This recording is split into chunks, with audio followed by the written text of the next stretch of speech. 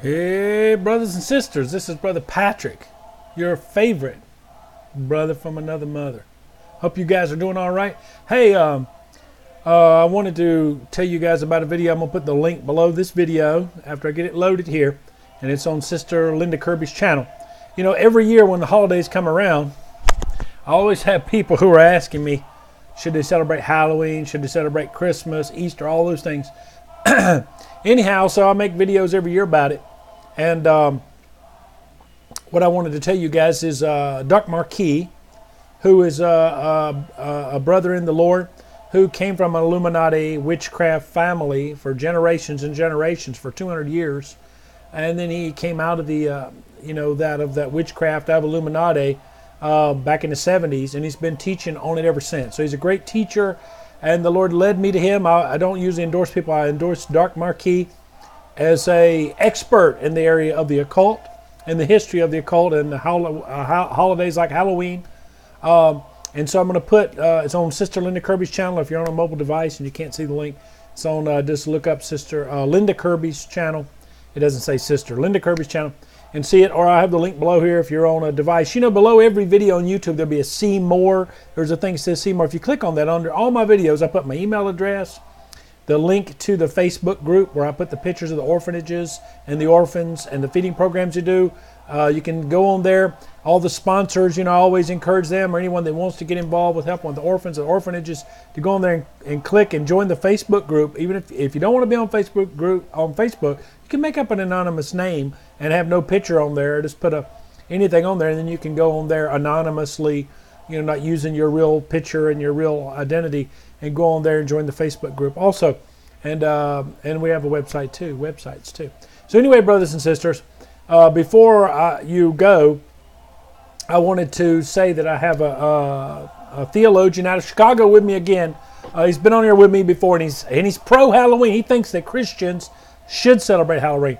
But for me, I want to say this. What I always tell people the bottom line is whatever kind of holiday people are trying to do, exploit it for Christ. As Paul, the Apostle Paul said, I become all things to all people that I might win some to Christ. So the short answer is if it's Christmas, we know Jesus wasn't born December 25th, and we know, you know, about whatever all these traditions that came out of Rome and on and on and on. It doesn't matter. Everyone in the world knows about the virgin birth of Christ because of Christmas. So exploit that. Don't, you know, don't be caught up in the commercialism of it, but exploit and use it as an opportunity to advance the truth that Jesus was born of a virgin. I mean, that's what the point is. Easter, same thing. We know about Ishtar. We know all the pagan and the eggs and the fertility rites and all this disgusting things of bunny rabbits and all that. But we know that Jesus was resurrected on the first day of the week after the Passover. Whenever it's the Passover, Jesus is our Passover lamb that takes away the sins of the world, crucified on Passover. And he resurrected on the first day of the week, the Feast of First Fruits which is a Sunday is the first day of the week, brothers and sisters. That's why they call Saturday and Sunday the weekend. Saturday is the last day of the week, Sunday the first day of the week. The Lord's Day in the book of Revelation, chapter 1. That's what I celebrate. Uh, just to answer another question, I celebrate the resurrection of our Lord. I don't celebrate a shadow of things to come, but the very thing, as Hebrews says, not the, the shadow of things, but the very thing, the very image, the Messiah, Jesus, resurrected on the first day of the week on a Sunday morning, just at dawn, brothers and sisters. Praise God. Praise God Almighty. Anyway, brothers and sisters, I want to invite this high theologian from Chicago to come on there with me again and tell us why he thinks that Christians should celebrate Halloween. Here he is today, and uh, he's here with me. Uh, this is, uh, I don't even know if I want to call him brother, but uh, he's not my brother from another mother. I think he's uh, he's an he's what they call in the Philippines, uh, translated into English. He's an outside. He's an outside child. He's uh, you know we have another word in English that's not a good word to say, but it's in the Bible though several times. He's illegitimate brother. he has a different father, I think, and a different mother than we do, brothers and sisters. But anyway, uh, Dr. Bozo is here with us, and he thinks we should celebrate Halloween. Now, why is that? Now, you know, actually, I read about this on a website from religious people. Oh, because it's actually, wait a minute, you said uh, an ancient tradition about the old, old Hallows Eve and that the November the 1st is All Saints Day? Really? Well, what's the original root of All Saints Day uh, there, Mr. Bozo? Oh, you don't know? Well, oh, see, you didn't know, but the All Saints Day and all that goes back to some pagan stuff too. And it came out of Rome, again, not biblical. The resurrection celebration is really for Easter, Feast of First Fruits in the Old Testament, the first day of the week after Passover every year. And then every day, every day, every day, every day of the week, but particularly the first day of the week, we celebrate the resurrection day of Christ and His church all the time. Not just one day remembering people who died, but every day is a celebration of the resurrection of the Lord and the resurrection of the saints, which, aka, we call the rapture. You got that, uh, Mr. Bozo? Wait a minute, what's Mr. Bozo's trying to tell me something else, and, and it's hard for me to understand him sometimes what he's babbling because he loves to babble traditions. He says that he thinks that uh, that all of those things, Santa Claus and all those things, are cool, and uh, that's his opinion on it because uh, you know he's. Um, I think he's actually said he was a Lutheran. He's a Lutheran. well, today, you know, last time I interviewed him, he was kind of a Seventh Day Adventist. I just want to throw this out there at the end, which I never talk about these things. Um, and I always talk about those sacred namers. Now that on the uh, on the on you know that we've got uh, the growing ranks of sacred namers, and people that say you have to say Jesus' name in Hebrew or you're going to hell. Brothers and sisters, I want to keep caution and keep it right in line with the Word of God here. Even though we should not celebrate the aspects of, of any holiday that's pagan, and we should exploit Halloween for the glory of God. How do you do that? Well, you can put out candy and put stickers on it about the gospel. You can put John 3:16, put it on stickers and give it to children. Now, I just want to say this too because I was going to get into about the sacred namers, but let's keep that for another video. You don't have to speak Hebrew to be saved. But those little children who come to your house are not evil and not wicked. I'm so sick of these Pharisee, you know, and I guess that's why I've mentioned the sacred namers, Pharisaical, judgmental people. All of the people out there, the Apostle Paul said in the Word of God, we don't wrestle against flesh and blood, but against powers and principalities and forces of darkness in high places. Even witches. You know, someone evangelized Doc Marquis. He was a witch in the military. I think he was in the Air Force. He was a medic. That's why they call him Doc Marquis. He was trying to convert people to witchcraft and develop, uh, you know, that the, that the military would honor, would recognize uh, witch, Wicca as a religion. That's what he went in there for. He was assigned by the elders of the Illuminati to go and try to get the American military to recognize Wicca as an official religion, which they do now. And that's what he was trying to do. But someone evangelized him, brothers and sisters, and that's why he's being serving the Lord now. So don't be.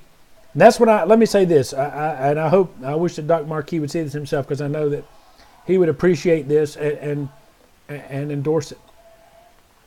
Brothers and sisters, do not, do not sit on your, your blessed assurance and your self righteous, hypocritical, old hard shell ideas. Like, you know, here I'm in, I'm in Baptist country here in North Carolina. I know all those old self righteous hypocrites and, and, and, try to get involved in politics and all that instead of getting in, involved in the work of the Lord. They, they see that, pre, you know, President Bush was a savior. You know, they're trying to elect some man to be a savior. Instead of looking to the Lord to deliver the United States through spiritual prayer and repentance, they're looking for a flesh solution. Let me tell you something. Get out of your old carnal flesh. Get out of your old flesh and start looking at little children and, and even witches as someone who the Lord died for. Jesus died for witches. Jesus died for all, especially little children. So, you know, it will not hurt you and, and, and, and it might, you know, disrupt your reputation as a mighty Pharisee and a self righteous uh, bigot and a hypocrite in your neighborhood. But if you could get you some candy, because you have to become all things to all people, and you could put little stickers on there, you know, about for this is for little children. Put Jesus loves me, this I know, or something. I did that before uh, before I moved to the Philippines, when I became a pastor, you know what I did? I went and got stickers at a Christian bookstore that said, you know, Jesus loves you and different Bible verses. And I put a sticker on each piece of little candy bar and put it out for kids to get. And then I even told the kids, you know, I gave them the candy and told them, you know, you know, Jesus loves you and tried to, you know, just sow that seed. Little kids, you know, you can't hardly sit there and give them all the gospel, but you just give them a little nugget there. Then their parents inspect their candy. They'll see that little sticker on there. Jesus loves you. See what I'm saying? You got to exploit these holidays. So I'm tired of Christians being anti salt and light and sticking their head in the sand. That's why America and Europe and England, a lot of you guys in England and Australia, that's why the, our our Christian nations are going down in the hole because Christians are sticking their heads in the sand and saying, I'm going to heaven and all these people are evil, they're going to hell, condemning and judging everybody. The Lord didn't call us to do that. He called us to be salt and light. He called us to be, uh, you know, uh, an example to people and provoke people to jealousy of the love, peace, joy, health, wealth, and wisdom we have in Christ. Now get out there and exploit Halloween to be salt and light and get off of your blessed assurance. Okay, brothers and sisters, I was just, the Lord arrested me to do a little preaching there.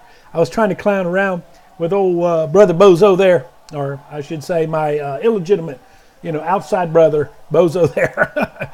anyway, brothers and sisters, if you love Jesus, Jesus said, you know, uh, people will know, and, and Jesus gave a last commandment. People want to talk about the commandments, the commandments we have in the New Testament. That's His commandments to keep. You know, He gave us the golden rule and all that love God and then love your neighbor, the first and second commandment. Then Jesus said, A new commandment I give you. There at the Last Supper, John chapter 13, that you love one another as I have loved you. And that's way people will know that you're my disciples, because you have love for one for another. Our brothers and sisters, this is a golden rule that Jesus gave us. Do unto others as you would have them do unto you. You know, love your neighbor as yourself. Now, do you want yourself to go to hell? Just like Doc Marquis, somebody evangelized him. God loved him, for God so loved Doc Marquis that he sent someone to evangelize and tell him that he gave his only begotten Son. That whosoever believe in him, they should not perish but have everlasting life. Same thing with you. God loved you so much that he made a way for you to get saved. And God wants to use all of us as instruments of righteousness to get other people saved, not to condemn. As Jesus said in John chapter 3, same chapter. He said, For the Son of Man came not to condemn the world. For God, Jesus said, John chapter 3, like where he said John 3 16, he also said, For God sent his Son in the world not to condemn the world, but through him they might have eternal life. Brothers and sisters, get out there and be salt light and exploit all the ways of the enemy. The enemy exploits Christianity, the enemy exploits us. It's time for us to exploit the enemy and exploit his ideas and his kingdom. We have the power and the authority in Christ. I can do all things through Christ who strengthens me, the Bible says.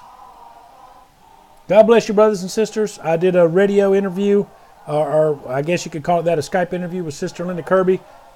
When she posts it, I'll be posting a copy on my channel too. You can go to her channel and watch that also. It'll be on tonight. I think by about 9 o'clock. Anyway, God bless, brothers and sisters. God bless.